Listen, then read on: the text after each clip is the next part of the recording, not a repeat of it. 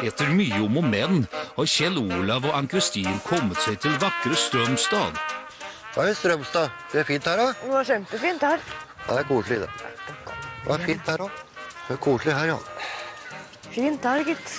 Nå skal de feire kjærligheten med en romantisk middag. Nå skal vi ut og spise her, da. Ja, Det er fint her. Ja, kjempefint her.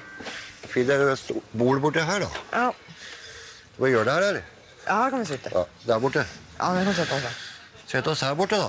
Får vi sette oss her, vi, da. Her, ja. Så god. Stig på. Thank you. Uff. Sånn. Det er bare å vente på maten.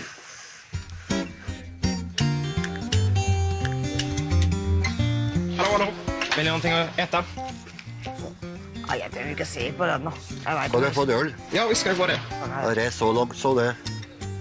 Har du hamburger, da? Ja, hvis det var det. Ja, det er hamburger. ja. Det var Kotla? da. der keller der. Koselig kar, det. Strømstad, er ikke det Kotla? Ja, kjempefint her. Det jaggu meg Kotla her, altså. Ja, det var det. Det er godt. Det var en fin restaurant, dette, ja. Og flott restaurant, altså. Ja, kjempeflott. Så, så kommer jag med litt bestikk og dricka. Lykke. Thank you. Jeg hadde ikke tre liter glass, da. Nei, jeg har faktisk ikke tre liter glas. Det er nesten de største glasset jeg har her. Tack så Takk. Ligger både. Ja, skål da, kjære. Ja, skål, da, elskling.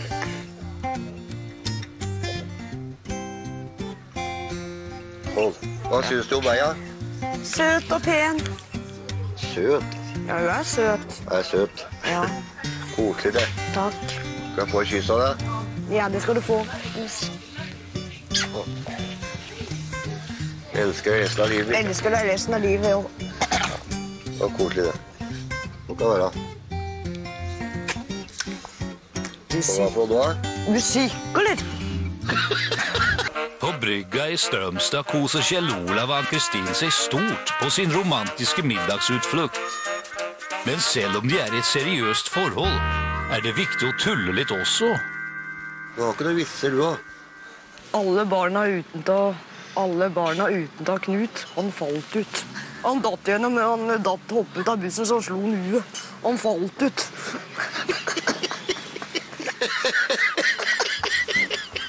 Husker alle disse vitsene i huet, skjønner du. Ja, Det var en som var så skjeggete og aldri barbert, sa han. Unnskyld, så jeg har trang fødsel, sa jeg. Og sier etterpå stok en jogge skjegget, du.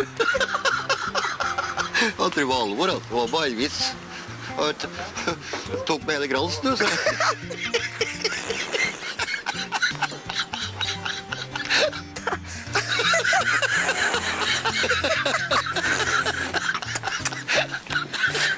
Herregud. Hva er det med oss? Hva f*** skal jeg si for noe?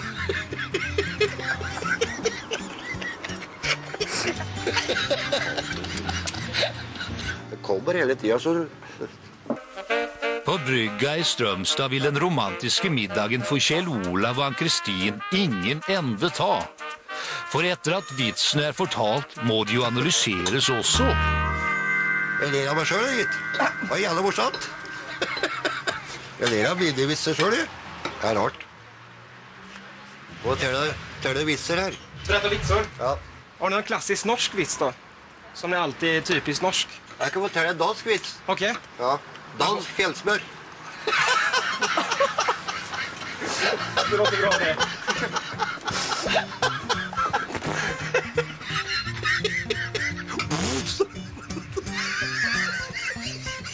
Oi, Unnskyld. Takk for maten, elskling. Hva er kortet, det. Jeg elsker meg hele livet. Jeg elsker deg hele livet. Åh, det er lett. Var det godt? Det var kjempegodt. Ja, nå skal vi hjem til Oslo igjen. Ja, det skal vi. Og tusen takk for uh, koselig kjærlighetsmiddag og alt mulig. Takk skal du ha, du. Takk for ølen. Hvor f*** betrygger det? Da går vi.